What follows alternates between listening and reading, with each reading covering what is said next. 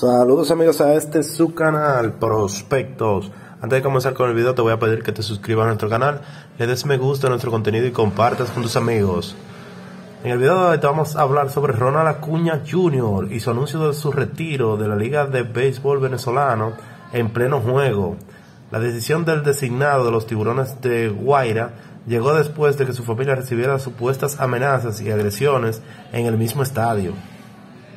Momento insólito en la Liga Venezolana de Béisbol Profesional. Ronald Acuña Jr. anunció su retiro de la competencia en pleno partido de la gran final entre Tiburones del Guaira y los Leones del Caracas este martes 24 de enero. Después de conectar su primer cuadrangular y perrearse en toda su expresión la conexión en el cuarto inning del encuentro, el abusador no salió a batear en su última oportunidad al bate y dio a conocer su retirada del béisbol venezolano mediante una historia en su cuenta de Instagram.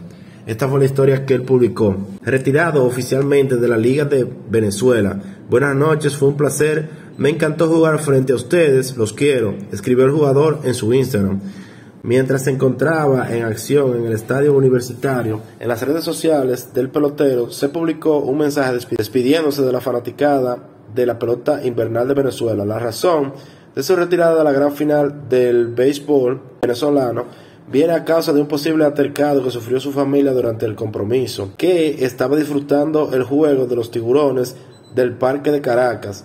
Esta lamentable situación ocurrió después de la cerca del designado. Cuña Jr. la votó por los jardines centrales y se perrió como siempre lo ha hecho en su carrera en las grandes ligas. Sin embargo, la celebración no cayó bien en los aficionados que se encontraban en el estadio siendo un gesto que también encendió las redes sociales. De acuerdo con la periodista venezolana Mari Montes, la familia del guardabosque fue atacada con vasos de cervezas y refresco cuando el juego corría por la parte alta del séptimo capítulo. Esto generó una trifulca entre sus conocidos y parte del público que estaba presente en el recinto deportivo. Otras fuentes comentaron que la misma familia fue responsable del incidente y hasta llegaron a agredir a varios aficionados que estaban insultando al jugador desde las gradas. Todo indica que el patrullero de los Bravos de Atlanta abandonó el estadio en pleno juego apenas ocurrió el altercado. Pese al momento tenso que vivió en el juego 2 de la final, los Leones de Caracas se quedaron con el triunfo 8 a 5 sobre los Tiburones del Guaira y colocaron 2 a 0 la serie a su favor. lamentable este altercado de Ronald Acuña o de la familia. Ronald Acuña Jr. dijo, le estaban tirando cosas a mi familia. Acá no hay seguridad para nadie. Y no antes que pase una tragedia en las gradas y me toquen a un hijo mío, no voy a jugar más.